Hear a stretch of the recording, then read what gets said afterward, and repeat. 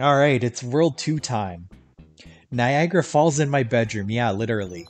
And like some days, I guess it's not so bad, just in the sense that it's it doesn't wake me up at six in the morning, but I have no control over what time it starts happening or anything like that. So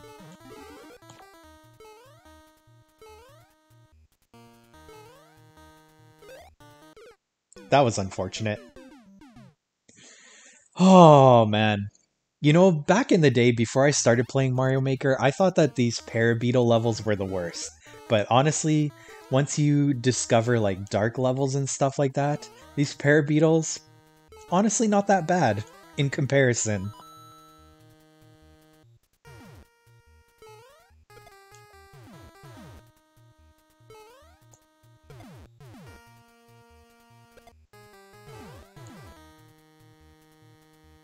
Alright. Hopefully I didn't jump on the snake too early.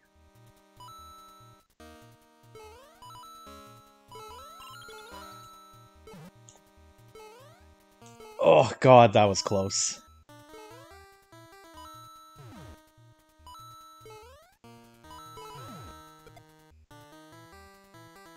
Alright, are we going down? Do I have to wait for the auto scroll? What's happening here? Checkpoint. That's nice at least. Gotta go for the extra challenge with the big coins.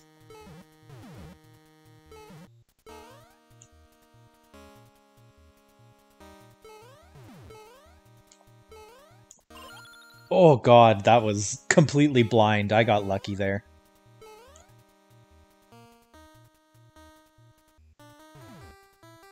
But yeah, like all of this lack of sleep has really been messing with my mental health and I'm just exhausted all the time and like it sucks now too because I'm on holidays for the summer, but yeah, maybe it won't be so bad come the fall. Who knows? Who knows at this point? Sandy Dunes 1 Stranded. Was the other one the second level and this is the first level? I wasn't paying attention to the name of the first one.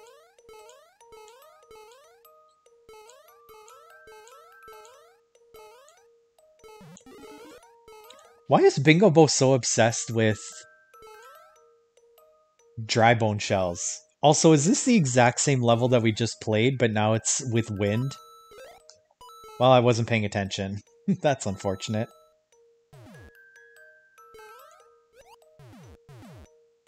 Pretty sure this is the exact same level.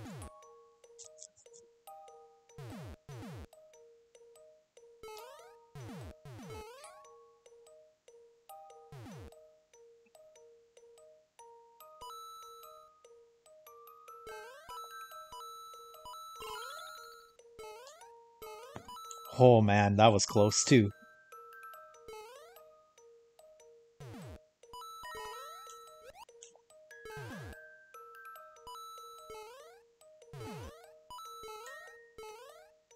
God, I hate the wind so much. Okay, well, I think the checkpoint was down here in the last level. It's not here anymore.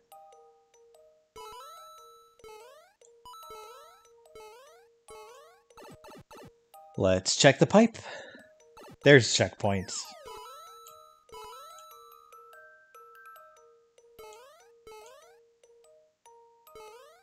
Ooh, that was close.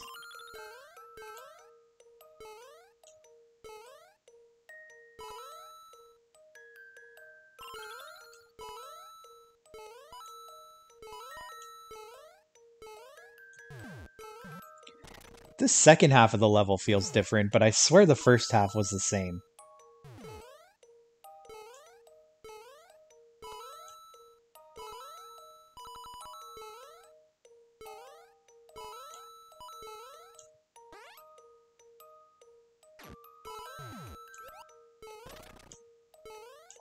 Come on. Come on.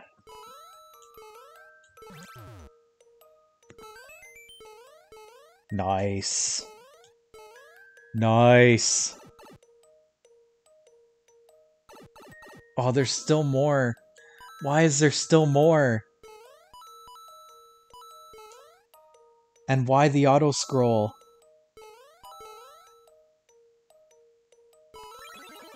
Oh my god! The end was right there.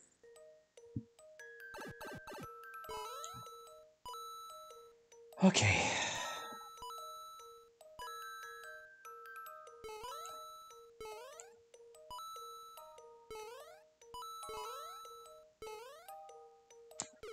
Like I I don't understand how are you supposed to make that jump when the wind is blowing you? I would say the wind is my second least favorite mechanic in this game. Mechanic, gimmick, whatever you want to call it.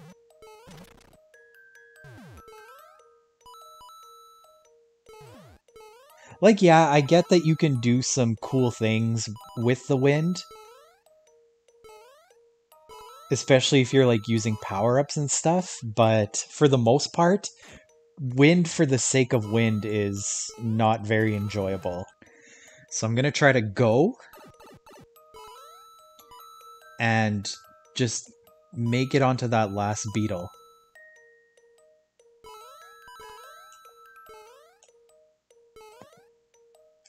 Okay, so that is what you have to do. You just have to go and there's like a tiny window before the wind starts blowing again where you should be able to make it. Has anybody seen there's like this thing that I've seen on like maybe it's Facebook or Instagram or something like that where these restaurants have these it's like um, a cutout of like different sizes and the sm- the smaller the size that you can fit through the bigger the discount you get at the restaurant or something like that. So if you're like something like skinny like 90 pounds or something like that you get like 100% off your meal. If you're like a bigger guy maybe you'll get like 10 or 20% off. I've seen that I've come across this picture quite a few times lately on like Facebook or Instagram or something like that.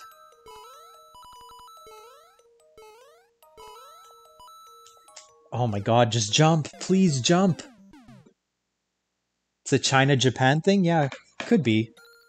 Yeah, right before I went live, I just watched Canada win the semifinals in the rugby sevens, which they've had two upsets in a row in the playoffs. They beat France and this morning they beat Australia, which is mind blowing. Like I don't know how good Canada is at rugby sevens, but I mean, I feel like Australia is a powerhouse for sure. France is the host country, and I'm pretty sure both of them are ranked higher in the world rankings than Canada is, but I don't know where Canada is ranked, so I couldn't say but yeah, we're going to be in the finals this afternoon. So definitely going to stop before then because I do want to watch that game.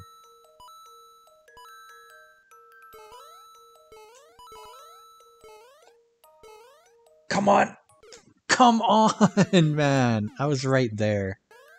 I always like watching just events that we don't normally get to watch. Like basketball and like soccer and stuff like that, you can watch that whenever you want. Like it's on all year, but something like, for example, Canada won a medal in fencing.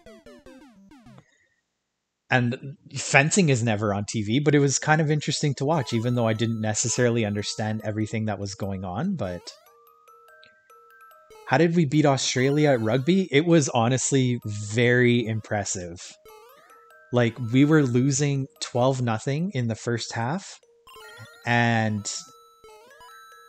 I watched the round before this where we beat France and the Australia game was after our game and Australia dominated. I think they're playing Ireland. They like completely dominated them and I'm like, we have no chance of beating them in the semis.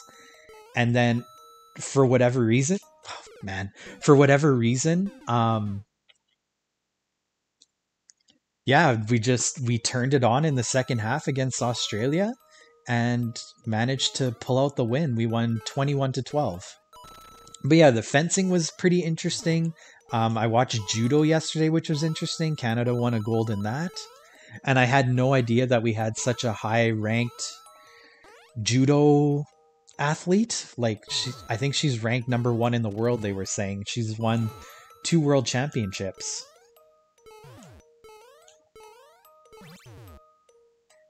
Although judo I found not to be that interesting because the majority of the judo matches that I watched, the people only won because the other person got too many penalties.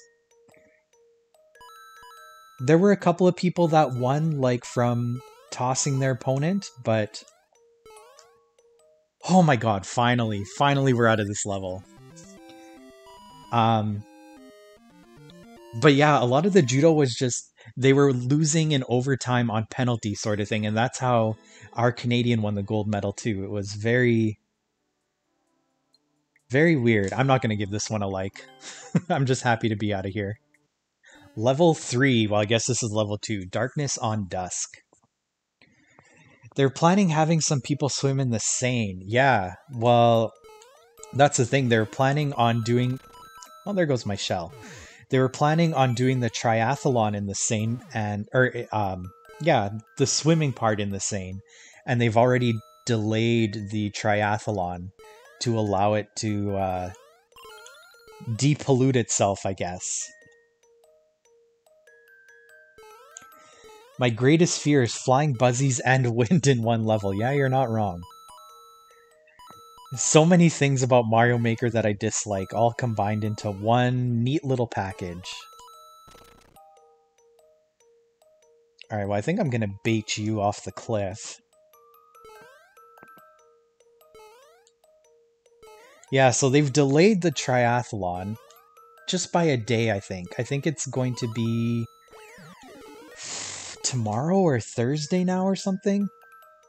They're making them swim in sewage water. I mean, but the athletes want to do it too, so it's not even that they're making them, but the athletes are they're like, "Yeah, we don't care. We'll swim in the Seine." The Seine.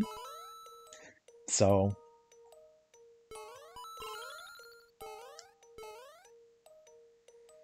Oh, can I even get that 10 coin? Oh yeah, I can. Shoot. They spent a million or two billion cleaning it up. They did, yeah. They they had a whole um like a cleaning system plant thing, which is making it a lot cleaner. But I mean, they can only do so much, I guess. But yeah, they are cleaning it up. The water is like in more safe at a safe level but because of the rain that they had in the opening day, they um, the rain contributes more bacteria into the river. They were saying, which makes it harder to process, which is why the levels are higher, which is why they are delaying the triathlon right now. All right, our next extra level wires and shells. Sewage system isn't just great at all because of all the rain before. Yeah, something like that.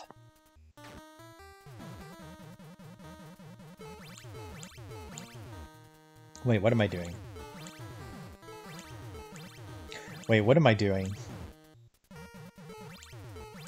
Okay, I need to focus. Why do I keep hitting that so fast?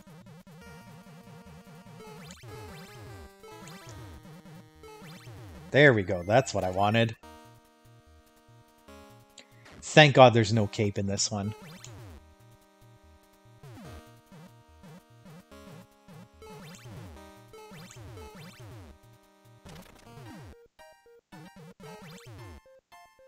Oh, we needed to go down there. Shoot. Well, this is a bit of a design flaw, because there should be a reset door if you screw that up. There we go. Just needed to focus on that one. Oh, checkpoint. Well, that's nice. Wait, do I want door or do I want pipe? Try door, I guess.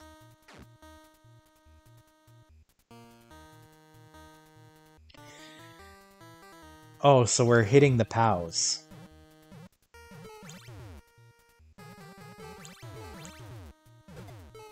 Well, this is way easier than the last one.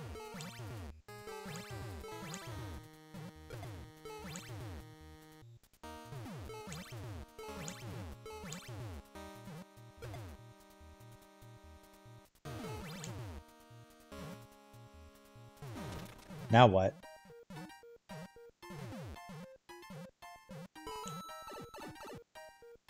I didn't even notice that it activated a P-switch at all.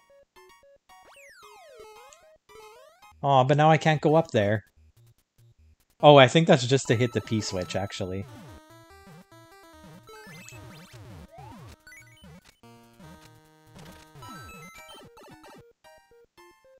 I don't know what happened there either.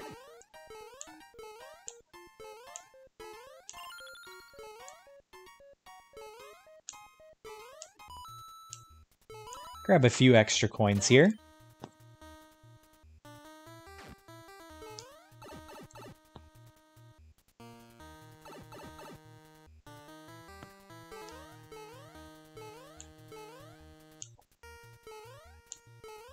Well, that didn't boost me at all to the finish line.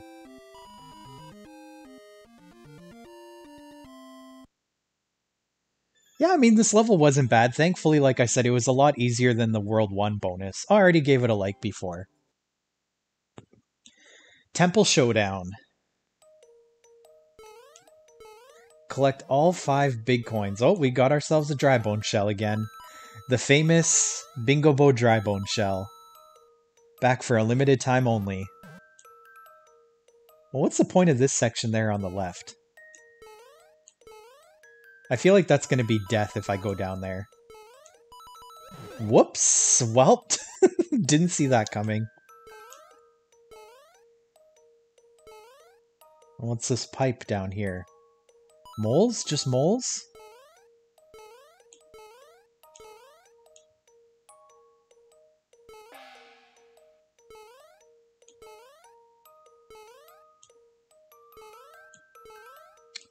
This is not an NSMB1 Super World.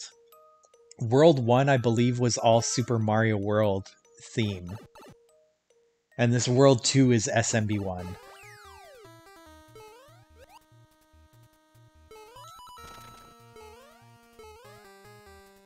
At least I think it has been. I honestly haven't been paying close attention.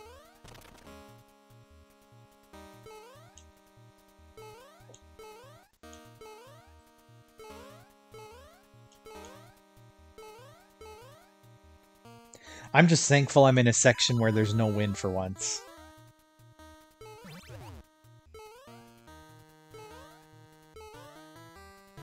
Okay, so we'll do that. I wasn't paying attention. Oh, there's a door down here. Gotcha.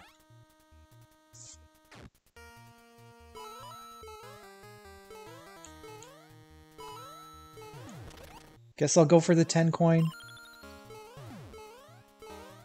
Well, at least I got rid of the mole that was up there.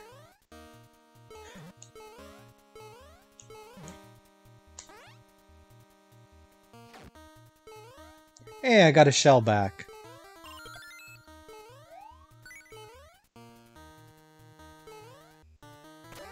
Oh shoot, I need both keys. Thank god I can go back.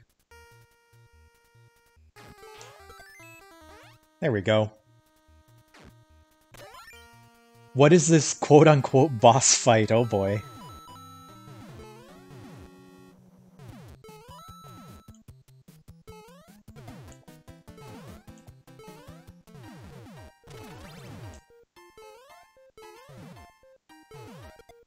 Okay.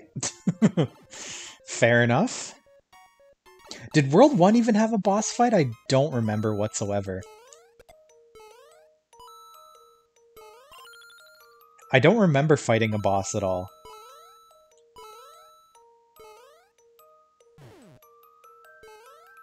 I don't know where this is going, but I feel like we should follow it.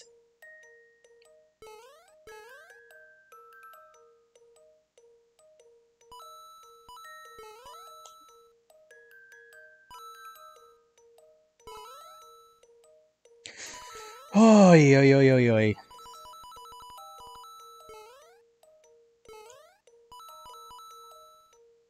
I mean, thank god there was ground down there at least. Nice. At least we got the extra life at the end.